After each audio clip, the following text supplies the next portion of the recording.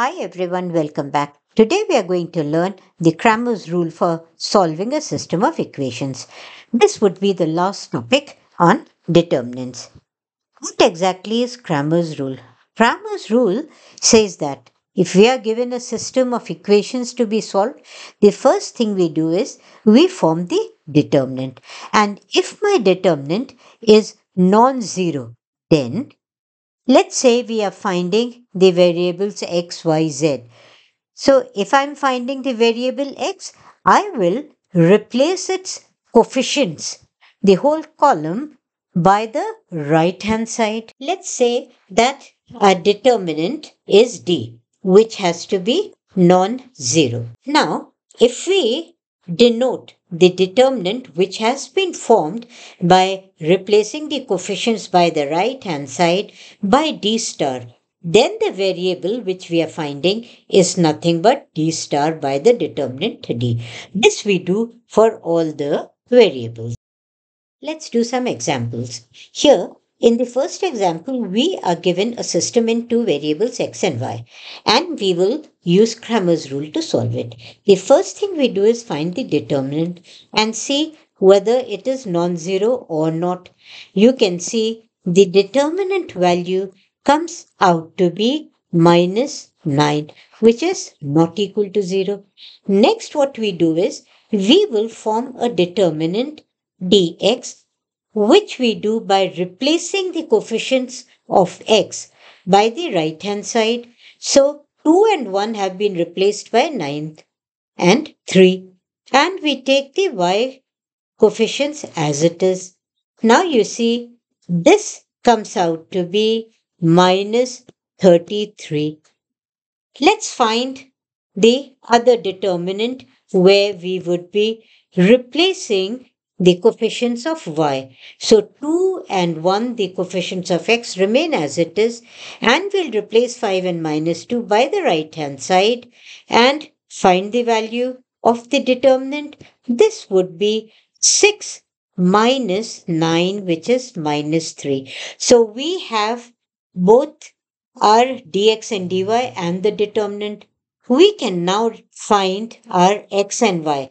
What will be x? x would be dx by d, which is nothing but minus 33 by minus 9, the determinant. This gives us 11 by 3 as the x value. And y value would be dy by d, which is nothing but minus 3 by minus 9 and that is nothing but 1 by 3. Now, this is our solution. xy is 11 by 3 comma 1 by 3.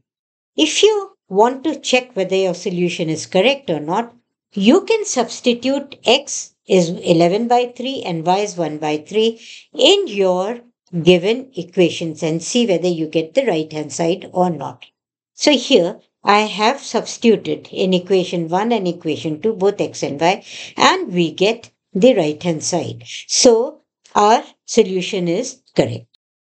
Come to the second example. Here the system is x plus y plus z is equal to 3, x minus y plus z is 2, and minus x plus y minus z is equal to 1. We have three equations and three variables. Now, we have to find the solution. So the first thing we'll do is find whether my determinant is non-zero or not. And when I use the Sarrus method, I see that my determinant value comes out to be zero.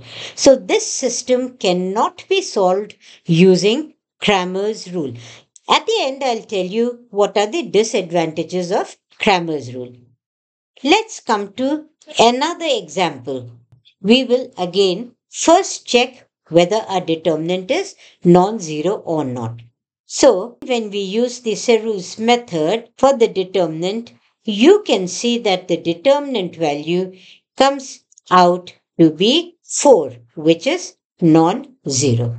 Let's now find our determinants dx, dy and dz. To find dx, I have replaced the first column 2 minus 1 3 by the right hand side 1 to 0. You can see dx becomes 1 to 0, 1 minus 1, 1, 1, 1 minus 1. When I use the Sarrus method, I get the determinant value to be 4. Next, we will replace the coefficients of y and our coefficients of y are nothing but 1 minus 1, 1. So 1 minus 1, 1 have been replaced by the right hand side 1, 2, 0 you can see here. Again when we use the Sarrus method you'll find that your dy value comes out to be minus 8. Come to the third determinant dz. Here first two columns are the same Third column has been replaced by the right hand side 1 to 0. And when we use the Sarrus method to find the determinant, we find its value to be 4. So now x is nothing but dx by d, which is 4 by 4 as determinant value was 4. And we found dx to be 4. x comes out to be 1. y will be dy by d, which is minus 8 by 4 that comes out to be minus 2 and in the same way z which is dz by d comes out to be 1. So our x, y, z are 1 minus 2, 1. Cramer's rule has certain limitations. It gives a solution only when the number of variables is the same as the number of equations. And what if we have infinite solutions? We cannot find them using this method. Thank you for watching. Our next video will be on functions. For detailed notes and practice problems, you can visit my website profpritibajpai.com.